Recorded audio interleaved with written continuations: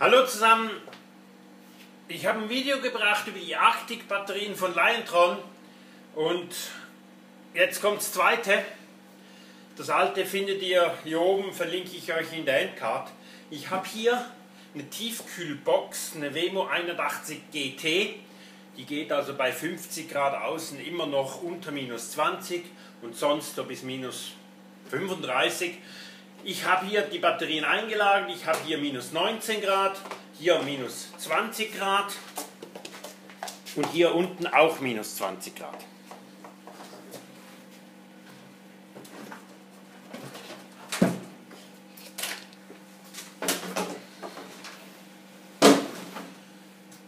Also das ist die gleiche Batterie vom letzten Test.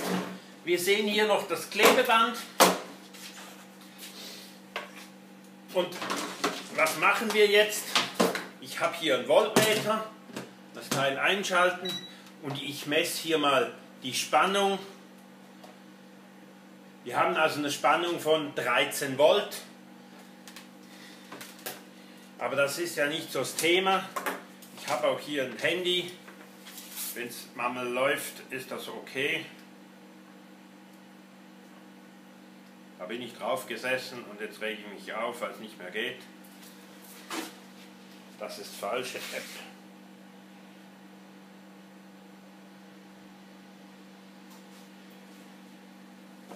Welche Batterie haben wir? 81. Jetzt checken wir mal, was da drauf steht.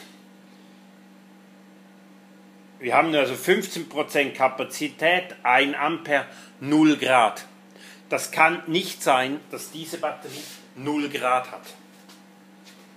Äh, BMS aktiv, also die Batterie ist aktiv. Ich habe hier meinen simulierter Kühlschrank. Ich hänge den hier an auf 12 Volt.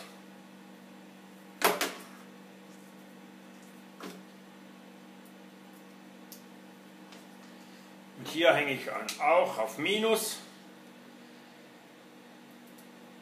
Also das ist wie wenn ich jetzt sage, ich habe hier eine, ein Wohnmobil, eine Standheizung will ich anschließen, die braucht vielleicht auch 6 Ampere. Ja. Und hier habe ich Entladung unter Temperatur. Ich habe keinen Stromausgang.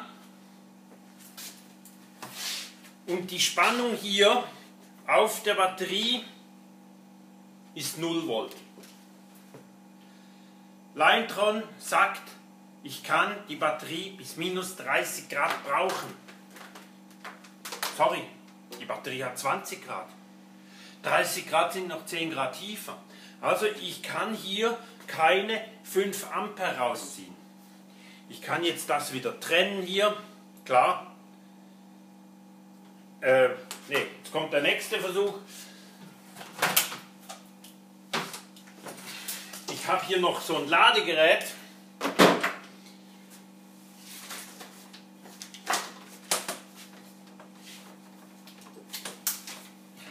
Strom einstecken. Das Ladegerät kommt hier auf Minus und auf Plus. Und das Ladegerät macht Lärm.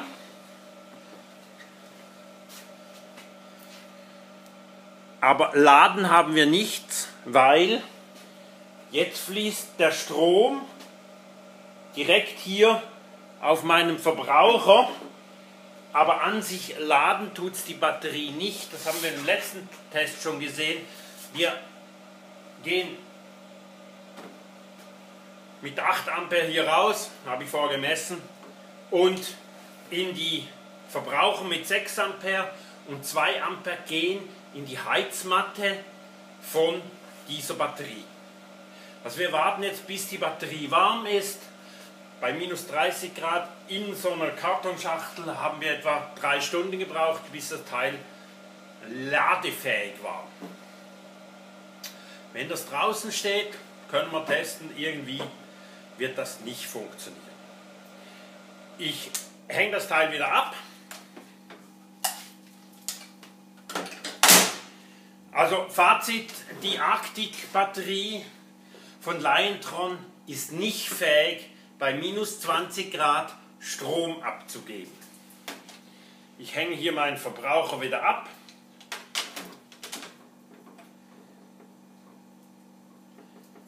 Und wenn wir ja am Testen sind, testen wir weiter.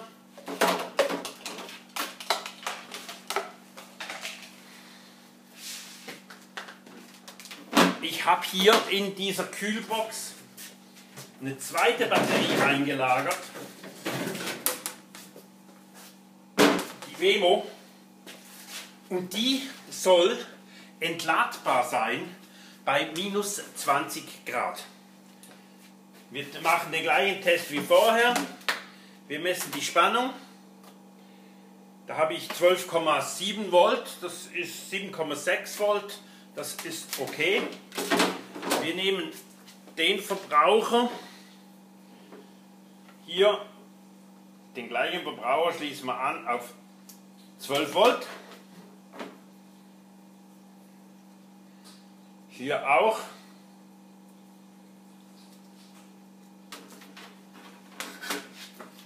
Wir suchen ein anderes App. Äh ja, und jetzt geht es nicht.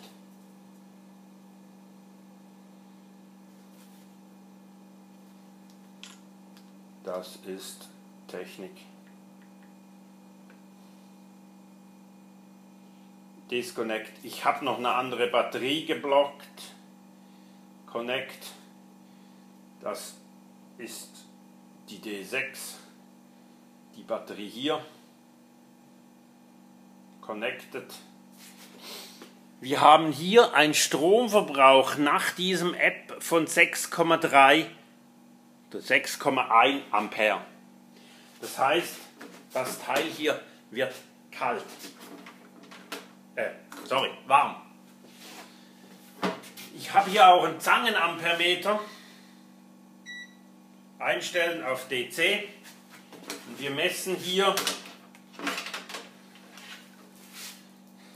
ja, vielleicht müssen wir es noch nullen, also auf Zero. Und wir haben hier einen Stromverbrauch von 6,1 Ampere. Also unsere Batterie kann man bei minus 20 Grad belasten, so wie es im Datenblatt steht. Was die Arktik-Batterie nicht hergibt, die ja für diese Einsätze eigentlich gebaut ist. Wenn ich jetzt hier das Ladegerät nehme, das gleiche wie vorher, hier anschließen auf 12 Volt, hier anschließen auf Minus, Ladegerät einschalten, Ladegerät brummt und wir haben hier einen Strom von 0 Ampere in die Batterie rein. Wenn das Ladegerät läuft, wir können das auch messen, der Strom, der hier reingeht, wenn man es anhängt, ist 7,4 Ampere und das ist das hier, wir haben jetzt eine erhöhte Ampere, das was hier der Wärmeteil, der Verbraucher zieht. Das heißt, ladbar nach Datenblatt ist diese Batterie erst bei 0 Grad. Also in der Praxis, ich hänge jetzt hier den Verbraucher ab,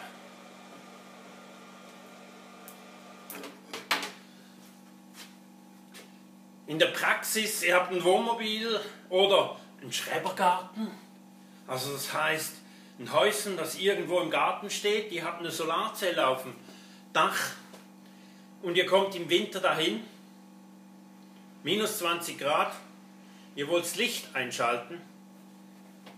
Bei der Arktik-Batterie geht's nicht. Bei dieser Batterie geht's. Ich kann sie zwar nicht laden, bei diesen Temperaturen.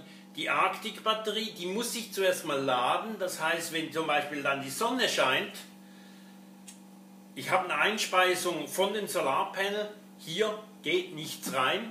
Bei der Arktik, je nachdem wie sie isoliert eingebaut ist, brauche ich zwei Stunden Sonne, dann kann wieder geladen werden.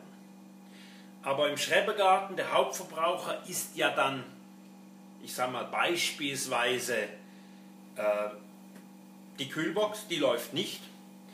Eine Heizung im Wohnmobil habe ich, im Schrebergarten habe ich nicht. Da geht es effektiv darum, komme ich dahin und kann ich ein Licht anmachen?